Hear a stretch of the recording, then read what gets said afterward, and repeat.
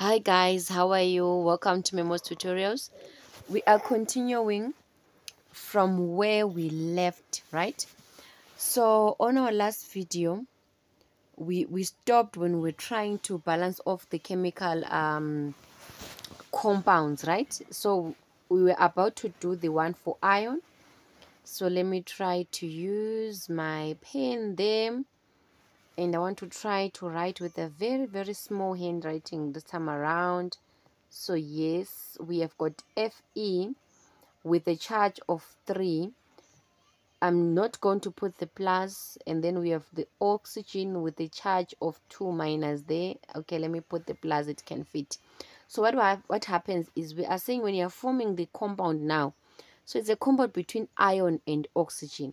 So the two for oxygen will come down here at iron on, on at the bottom of iron and the 3 for iron will go down there at the bottom of oxygen such that our compound now becomes Fe2O3. Ah, guys, clap hands for my handwriting. is not that bad, right? All right, so that's how we form a compound. And then how about we try another one? Let's try to form between uh, magnesium and oxygen. How does it go? Magnesium, it's in group 2, so it's Mg 2 plus. And then oxygen, it's O 2 minus, it's in group 6.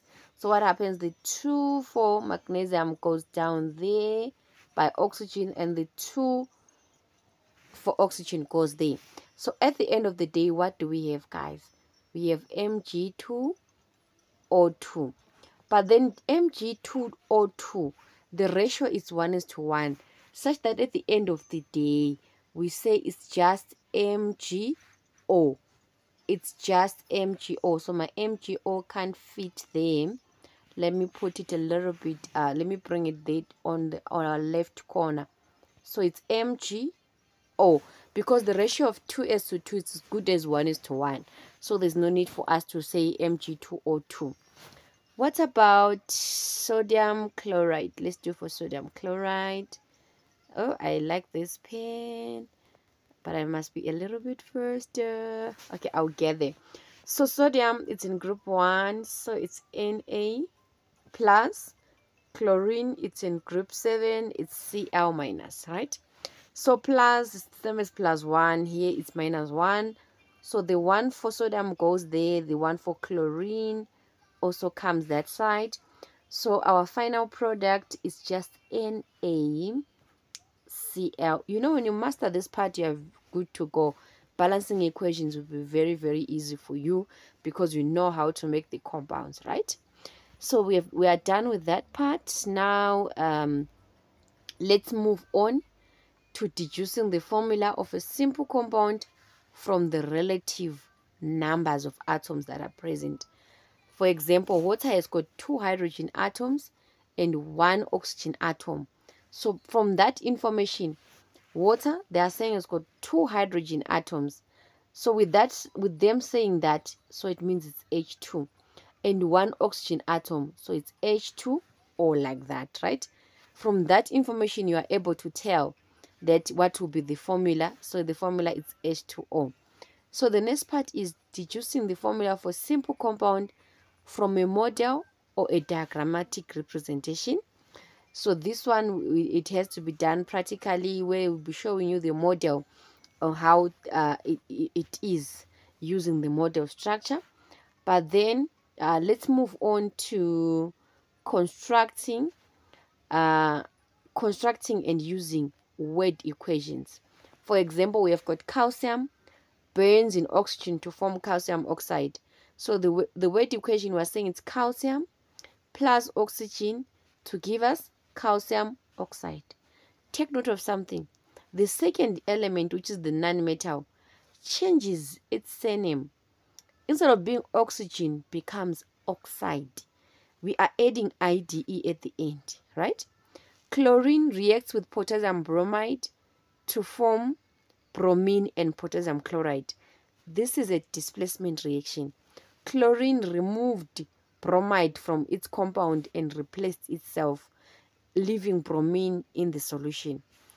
So now let's move to interpreting and balancing simple symbol uh simple symbol equations i'm busy thinking if i'm going to win uh writing and balancing these equations i pray so so uh we're saying the number of atoms of each element on the left side of the equation should be equal to the number of elements on the right side of the equation. So balancing equations shouldn't be a difficult thing. So now let's try balancing these equations that were given here. And when we are balancing them we are writing the balancing number before before the element or in front of the element. Uh, and that number will affect every uh, element in that compound so let's look have a look at the first one i pray that we win we have calcium carbonate plus nitric acid the answer is calcium nitrate plus hydrogen and carbon dioxide. We want to balance it. On the left, how many calciums do we have? One. On the right, calciums? One. What about nitrogen? Nitrogen on the left, we have one nitrogen. But then nitrogens on the right, we have two. Because of that two that is on the outside there, uh, just give me a second. I'm attending to the CEO. I'm mm -hmm. done. Quickly here we are. So i'm saying that uh calcium let me just start over. Calcium is one on the left and we have got one calcium on the right as well. What about nitrogen? We have one here but we have two there. These two on the outside is affecting the end there so to balance it you come. Oh that's sure i don't know why i'm getting my notifications. So let me try to zoom a little bit more. Maybe it's going to be easy for us to balance. So remember i said the calcium is one one it's fine but the nitrogens will put a two there. Please don't laugh at my two ne? i'm trying to put a two there so it means now we've got two nitrogens on the left and also two there but are we done no what about hydrogens we have two hydrogens here and of two hydrogens on the right. Oh, hydrogens are balanced. What about the oxygens? We have three there, right? Three oxygens plus six because 2 times 3 is a 6. That's giving us 3 plus 6 is a 9. When we come this side, we only have a 6. And plus 1, that's 7, plus 2, that's a 9. This is fantastic. fantastic. We have managed to uh, balance the first question. Now let's move on to the second question. Let's see if we're going to be able to balance it. I'll try to zoom a little bit further. Okay but i think we are fine.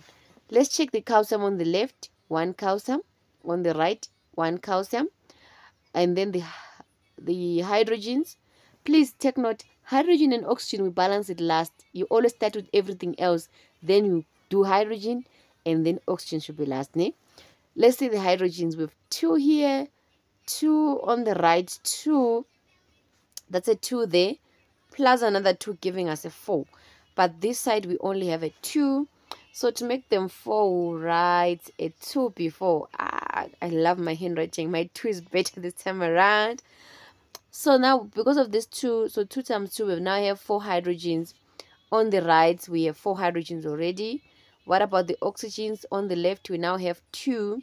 And on the right we have two. So this is balanced. We are done. What about uh question question three i want to try and move my board. Okay i'm failing to move my board. Uh okay let's see if i'm going to win. Let's have a look at it. I hope you guys are seeing it. We are having lead nitrate plus sodium iodine. Lead iodide and then we have sodium nitrate there. Let's see how many leads do we have on the left hand side? Lead is pb right? One pb one pb sorted what about sodiums? One sodium one sodium we are good. Nitrogen uh huh it's two nitrogens because of that two. The two is affecting the two there on the outside is affecting the nitrogen as well.